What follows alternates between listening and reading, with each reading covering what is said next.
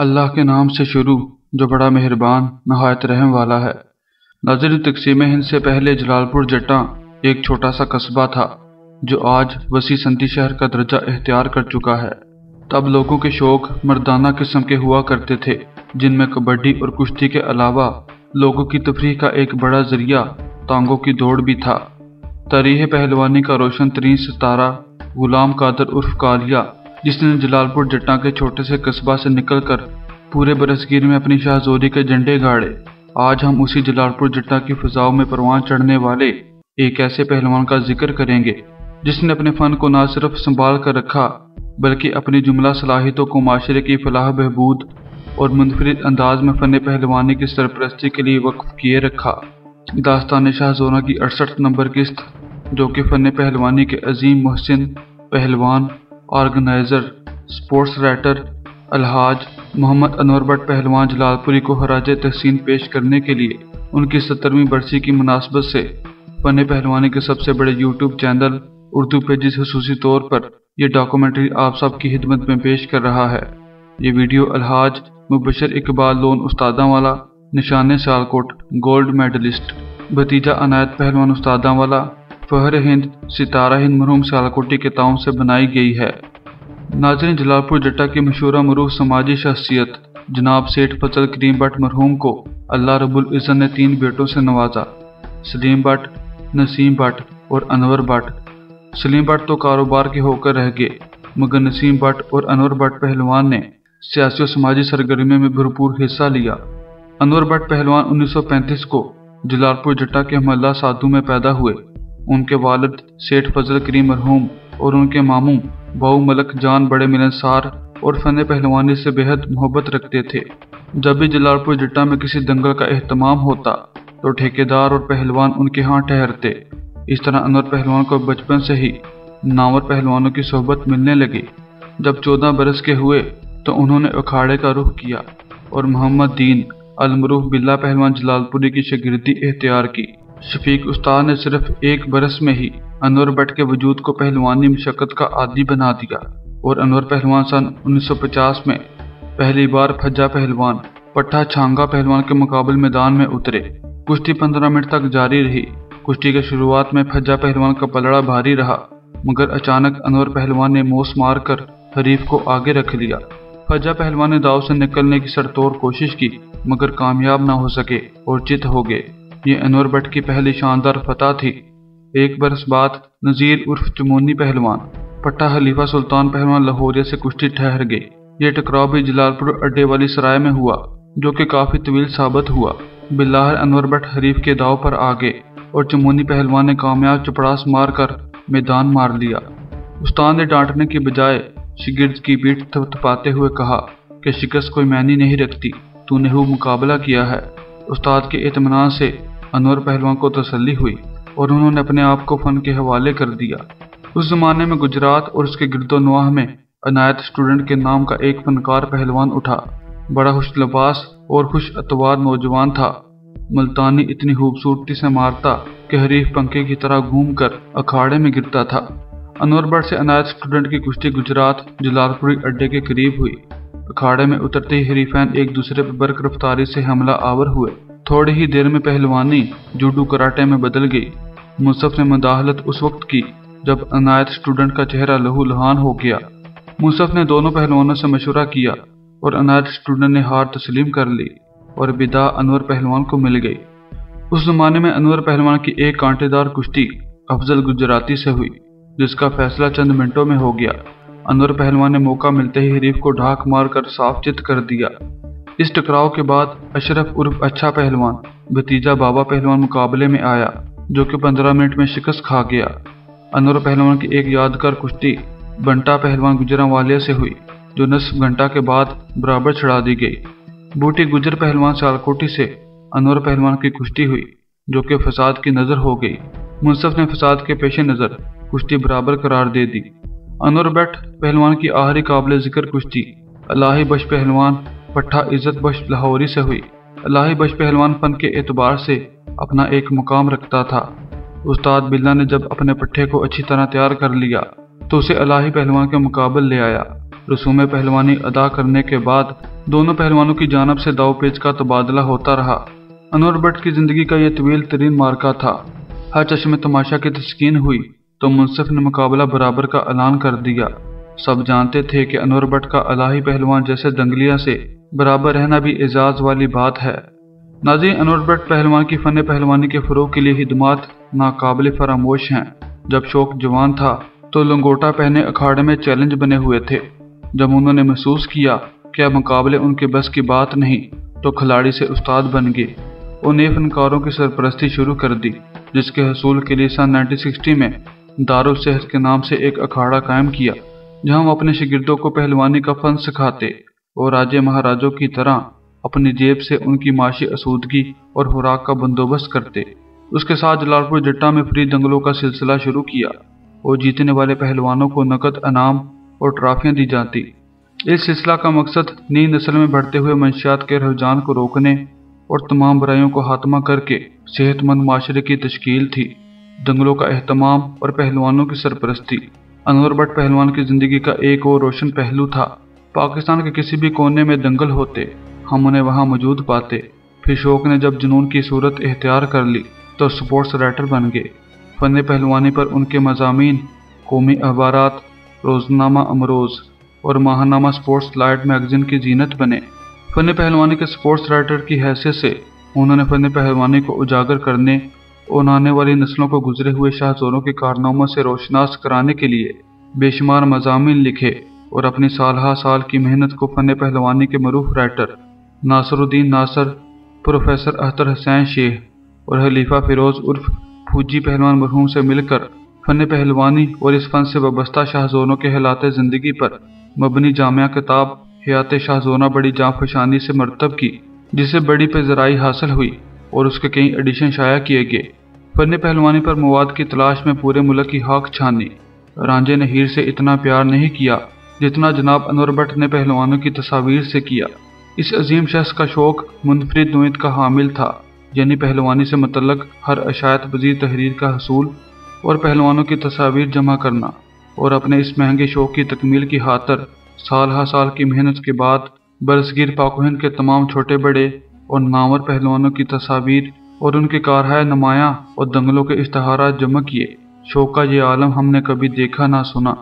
उन्होंने हज़ारों रुपए और कीमती वक्त सर्फ करके फन पहलवानी के बारे में इतना मवाद इकट्ठा किया कि मुल्क भर से कोई शख्स ये दावा नहीं कर सकता कि उसके पास अनरबट से ज़्यादा पहलवानों की तस्वीर, दंगलों के पुराने पोस्टर्स और फन पहलवानी पर लिखे गए मजामी और रसायल हों। उन्होंने अपना वसी कमरा सिर्फ़ पहलवानों की तस्वीर के लिए वक्फ कर रखा था, जिसमें फन पहलवानी की 400 साल तारीख का रिकॉर्ड महफूज था। अनवर मरहूम हकीकत में इस मैदान के रुस्तम जमा थे। इकतीस जनवरी 1975 को आपने नौजवान नस्ल के मताल के लिए अलमशर की लाइब्रेरी की बुनियाद रखी। पाँच जुलाई 1976 को गरीब अवाम की बेहतरी के लिए शोबा हिदमत हल की बुनियाद रखी, जिसमें गरीब तलबा और बेवा औरतों की हर किस्म की माली मदद की जाती। दुनिया भर में जहाँ कहीं भी उर्दू ज़ुबान की मैगजीन में फ़न पहलवानी के मतलब कोई मजमून शाया करना होता तो मोहम्मद अनवर भट्ट पहलवान से रजू करते। पहलवान जी उन्हें फ़न पहलवानी के मतलब न सिर्फ़ मालूम फराहम करते, बल्कि पहलवानों के नयाब तस्वीर भी बतौर हदिया दे देते। मुल्क के कोने कोने से फ़न पहलवानी के आशकान रोज़ाना उनके यहाँ आते। पहलवान जी उनसे बड़े करीमाना अहलाक से पेश आते और ज़ियाफ़त के लिए खानों का आला इंतज़ाम करते। उन्होंने बाईस साल लगातार अपने हल्का के कौंसलर और वाइस चेयरमैन बल्दिया जलालपुर जट्टा की हैसियत से अवाम की बेलोस खिदमत की। पहलवान जी इंतहाई सादा मजाज पुरहलूस बेलोस करदार के मालिक सोमो सलाद के पाबंद और अपने इलाका की मस्जिद के मौजन भी थे। पुराने हल्फा और बढ़ापे में बीमार पहलवानों की तमादारी के लिए दूर दराज इलाकों और शहरों में चले जाते और उनके इलाज मालजा के लिए उनकी मदद करते।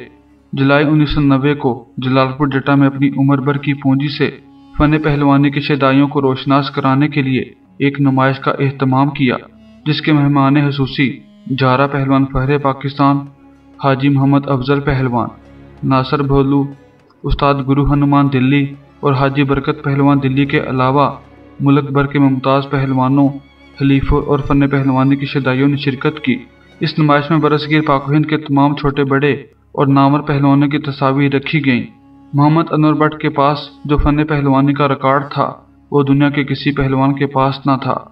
कि इन दफ़ा अनवर भट्ट पहलवान ने ऐलान किया कि अगर कोई शख्स फन पहलवानी के मतलब मुझसे ज़्यादा रिकॉर्ड दिखा दे तो उसको पचास हज़ार रुपये इनाम देंगे। मगर आज तक किसी ने भी इस चैलेंज का जवाब ना दिया। अल्लाह रब्बुल इज़्ज़त ने जब उन्हें हज बैतुल्ला की सादत नसीब फरमाई तो उन्होंने दुनिया से रुसत हो जाने वाले पहलवानों के इसाले स्वाब के लिए बैतुल्ला शरीफ के लातदाद तवाफ़ किए और उम्र भी अदा करते रहे। अलहाज मोहम्मद अनोरबट पहलवान के बारे में बिला मुबारक ये बात कही जा सकती है कि वो एक अदारा, एक तहरीक।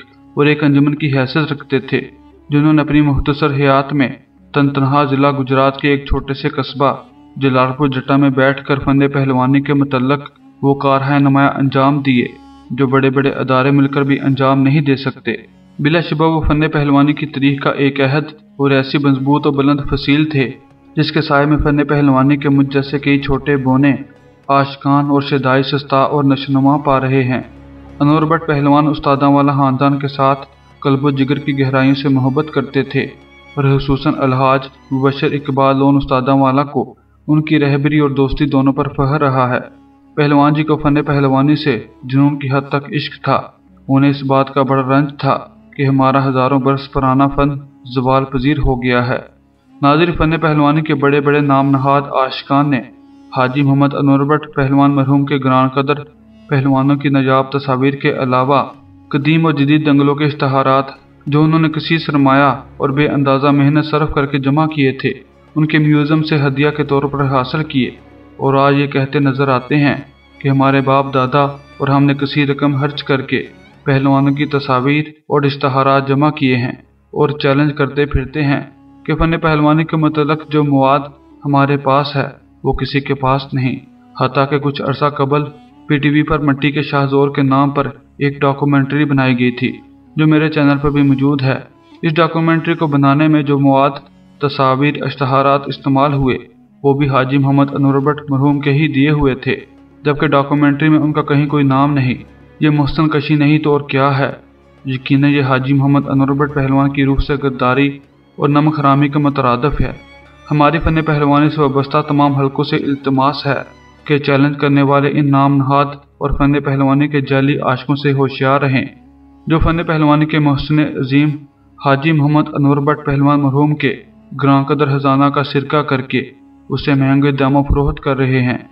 हमारा ये मानना है कि जिसके पास पहलवानों के मतलब तस्वीरी या इश्तहारी मवाद मौजूद है, वो हाजी मोहम्मद अनवर भट्ट पहलवान मरहूम की मरहून मिन्नत है। फ़न कुश्ती के ये अजीम मोहसिन 24 अगस्त 2004 को जलालपुर जटा में इंतकाल कर गए। है उजल तुझसे कैसी नादानी हुई?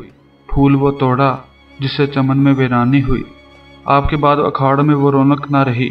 पहलवान वही हैं, मगर उनमें फ़न कुश्ती ना रही। मोहम्मद अनवर भट्ट पहलवान के नमाज़ जनाजा और दुआ हैर में उस्तादा वाला ख़ानदान के बुज़ुर्ग हाजी गुलाम सरवर पहलवान, बरदर अनायत पहलवान उस्तादा वाला हाजी जफ़र इकबाल लोन उस्तादा वाला राजू राकट पहलवान रुस्तम हलालो इस्तकलाल शालकोटी हाजी मुबशर इकबाल लोन उस्तादा वाला जहा लोन उस्तादा वाला, खलीफा तारक अब्दुल वाहद मुगल, खलीफा खालद जवेद पहलवान मुगल, तारक पहलवान, हाजी महर हमायूं सदीक पहलवान, शीदा पहलवान पोता गुंगा पहलवान रुस्तम हिंद, शाहद पहलवान शालकोटी, नासर बोलू पहलवान, Mohammad Tariq Bhatt Lahori, general secretary national star wrestling association of Pakistan, Masood Hayat Bhatt Lahori मरहूम के अलावा, दीगर नावर पहलवानों और फन पहलवानी से वाबस्ता हलकों ने कसी तादाद में शिरकत की।